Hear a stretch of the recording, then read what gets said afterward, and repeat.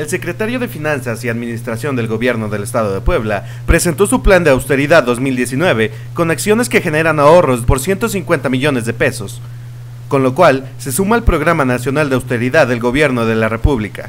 En conferencia de prensa, el titular de la dependencia, Jorge Esteban Chiriac, acompañado por la encargada de despacho de la Contraloría, Karen Berlanga Valdés, informó que la presentación de este plan de austeridad fue por instrucción del gobierno del Estado.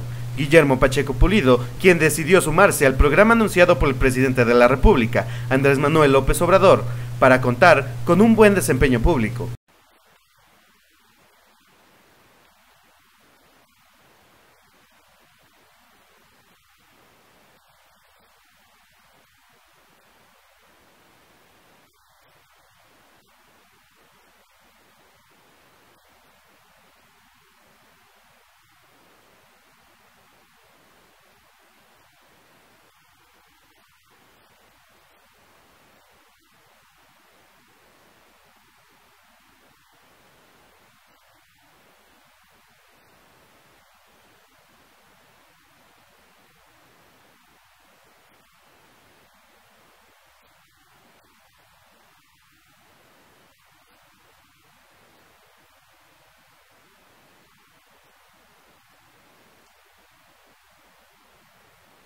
Jorge Esteban Chidiac informó que este plan de austeridad se aplicará para todo el ejercicio fiscal 2019 de la Administración Estatal, buscando obtener un manejo eficiente de los recursos públicos.